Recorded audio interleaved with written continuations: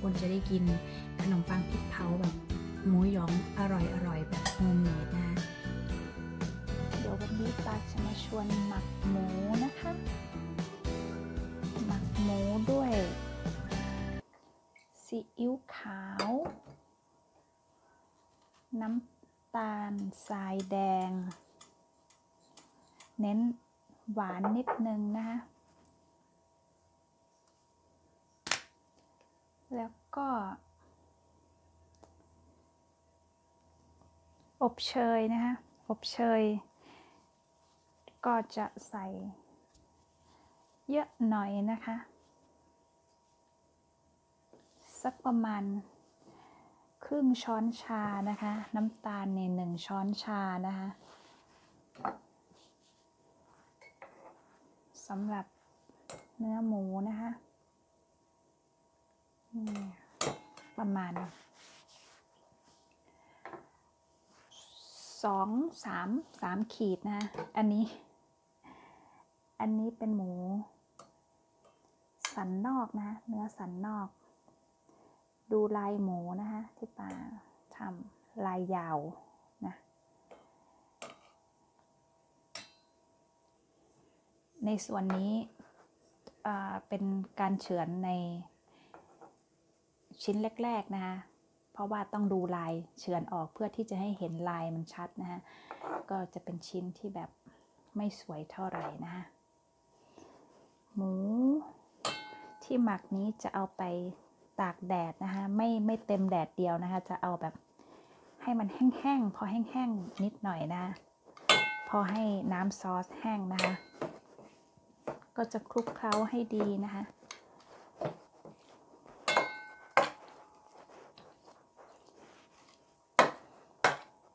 หมูส่วนนี้นะคะจะเอาไปทอดหลังจากที่ตากแดดนะคะแล้วเราก็จะมาทำเหมือนหมูหยองนะคะแต่ว่าอาจจะไม่เป็นชิ้นหยองเล็ก ๆ นะคะเพราะว่าเราเป็นการทำโฮมเมดเพื่อที่จะกินกับขนมปังน้ำพริกเผาหมูหยองนะคะจะเป็นรสชาติประมาณนั้น แล้วเราก็จะเอาไป ใส่ตู้เย็นไว้คืนหนึ่งนะคะ ก็จะเอาตากแดดในพรุ่งนี้นะคะ สักประมาณแดดแก่ๆสักประมาณข้างละเกือบหนึ่งชั่วโมงนะคะ เพราะว่าแดดที่นี่ค่อนข้างก็แรงเหมือนกันนะคะก็จะสักสองชั่วโมงนะคะ กลับด้านต้องเที่ยวกลับหลังจากหนึ่งชั่วโมงนะคะโอเคค่ะ แล้วมาเจอกัน part หน้าค่ะ เอามาตากแดดไว้ให้พอแห้งนะคะ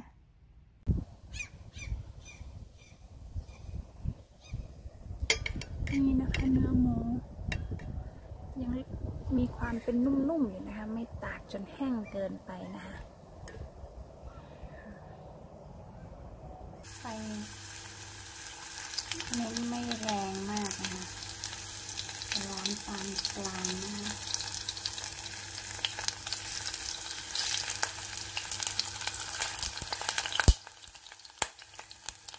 มันก็ ไม่ต้องคั่วได้นะคะเอาให้ถึงครึ่งแล้วก็เดี๋ยวเราก็กลับด้านนะ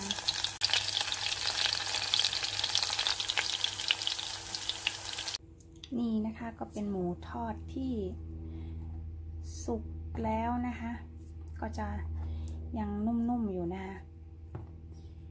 อันนี้ก็จะเป็นขนมปังที่พอจะใช้นะคะ ทากับตัวนี้นะคะชิลลี่เพสนะคะเดี๋ยวซูมให้ดู ตรงนี้นะคะ ใครจะใช้ขนมปังตัวนี้ก็ได้นะนี่แล้วเราก็จะได้ขนมปังพริกเผานะคะ อันนี้เป็นไม้สำหรับทุบนะคะ หรือว่าใครจะใช้ไม้โขลกพริกนะคะ หรือว่าสากนะคะ ก็ทุบได้เลยอย่างนี้นะคะมันก็จะเป็นเส้นๆ แล้วเราก็จะ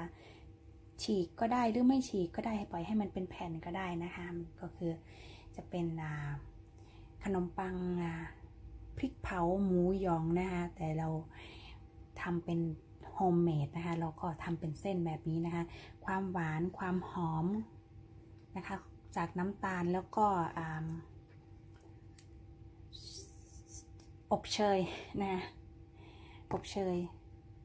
มันก็จะได้กลิ่นเหมือนกันเลยนะคะหอมมากนะคะ อันนี้เป็น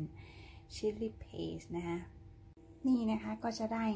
หมูฝอยเป็นแบบนี้นะคะ จะทำชิ้นเล็กกว่านี้ก็ได้หรือว่าจะทำเป็นแผ่นแบบไม่ต้องฉีกก็ได้นะคะ ถ้าใครอยากจะทำให้เป็นแบบหมูหยองก็เอาไปคั่วในไฟกลางๆนะคะในหม้อนะคะ มันก็จะเป็นหมูที่แบบเป็นคล้ายๆ หมูหยองง่ายนะคะ หรือว่าถ้าทำนานหน่อยหรือว่าทำเส้นเล็ก ๆ กว่านี้หน่อยก็จะเป็นเหมือนหมูหยองเลยนะ แต่ว่า ขบวนการนั้นเป็นวิธีทำในการแบบเอาไปขายนะคะที่เหมือนมีขายในตลาดทั่วไปนะคะก็หรือว่าในห้างนะคะก็เราทำ homemade กินเองนะคะก็ง่ายๆนะคะใช้เวลาก็อาจจะหนึ่งวันนะคะในการทำหมักหมู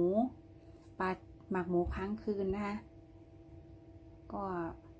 สามสี่ชั่วโมงเครื่องก็เข้าแล้วค่ะ แล้วก็เราก็ ใส่ตู้อบก็ได้นะคะ ถ้าใครไม่มีแดดนะ ก็ป้าเอาตากแดดนะคะ พอดีช่วงนี้แดดเยอะนะ เดี๋ยวเราทำไส้กันเลยนะคะ มาทาไส้ค่ะ อันนี้มันก็คือจะออกค่อนข้างจะหวานนะคะพอเราอบนะมันจะหอมมากเลยพริกเผานะคะ ก็ปาทำไว้แค่นี้นะคะ เพราะว่าจะกิน ในส่วนที่จะกินนะคะก็คือ ที่เหลือก็เราก็เอาทุบหรือว่าไม่ทุบก็ได้นะคะ แล้วเอาใส่ช่องช่องตู้เย็นนะคะไว้แต่ว่าปาคิดว่าจะใส่ช่องแข็งนะคะ เพราะว่าเราก็ไม่ได้กินทุกวันนะคะ ทุบเลยจะดีนะคะ ทุบก่อนแล้วก็เอาใส่ถุงใส่กล่อง เอาเข้าช่องแข็งนะคะจะกินตอนไหนก็สะดวกนะคะ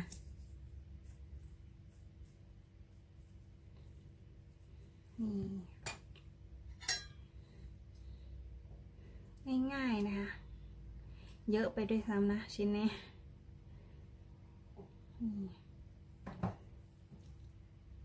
ใครจะใส่ชีสก็ย่อมได้นะคะ ใส่ชีสไปตรงกลางนะ ไม่ให้ถึงขอบนะคะ เพราะว่าเวลาเราอบเนี่ยถ้าถึงขอบเนี่ยชีสจะเยิ้มออกมานะคะ แล้วก็ประกบนะคะ เดี๋ยวเอาไปอบกันนะคะ ระหว่างรอเครื่องอบนะคะร้อนนะใครไม่มีเครื่องอบก็ใช้เตาถ่านก็ย่อมได้นะคะ แล้วก็ใช้ไม้เหล็กย่างนะประกบ ใช้เตาถ่านก็สะดวกมากนะ แต่ว่าเครื่องอบที่ป้ามีเนี่ย คือหลายปีแล้วใช้คุ้มมากเลยนะคะ ซื้อมา อันนี้นะคะ เราสามารถแบบฉีกหรือว่าทุบอีกแล้วก็ทำให้มันเป็น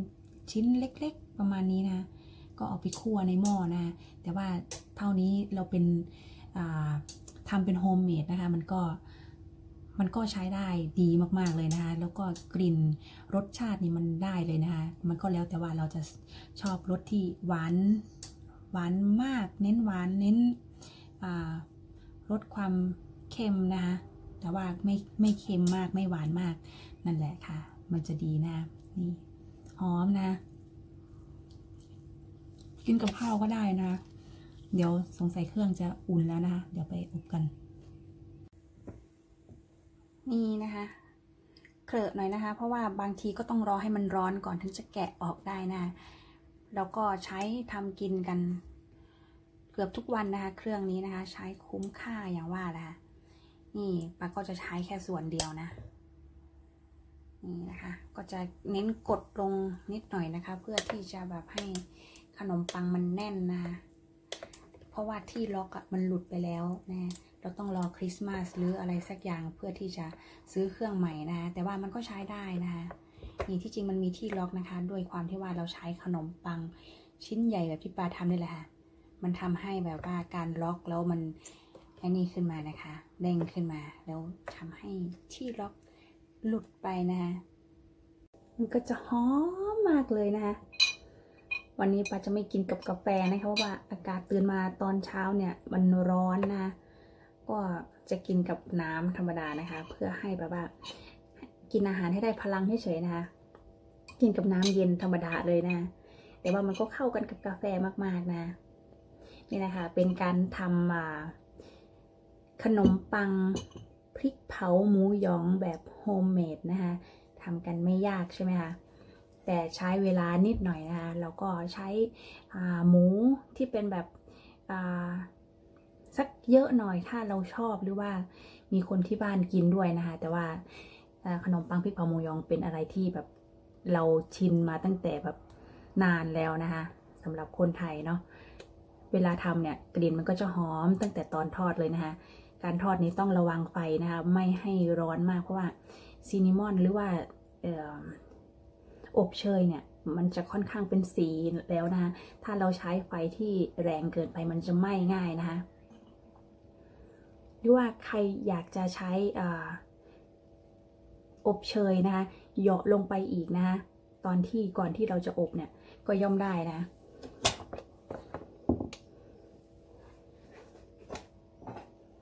เนี่ยอันนี้สุกสุกสุกเดี๋ยวมาดูนะคะ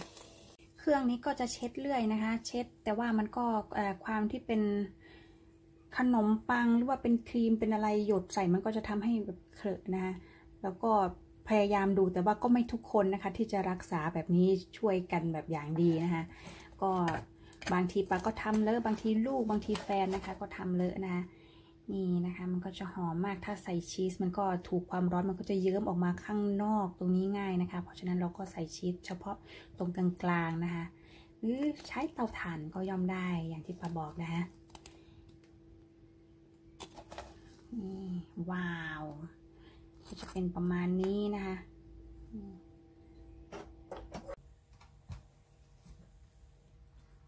หอมร้อนๆเลยนะคะ ร้อนมากๆนะคะ โอเคนะคะ เดี๋ยว ขอตัว ไปกินก่อนตอนที่มันร้อนๆนะคะนี่อาหารเช้านะคะ ก็ขอบคุณสำหรับการติดตามรับชมนะคะ หวังว่าทุกคนจะได้กินขนมปังพริกเผาแบบหมูหยองอร่อยๆแบบโฮมเมดนะ เจอกันใหม่คลิปหน้า สวัสดีค่ะ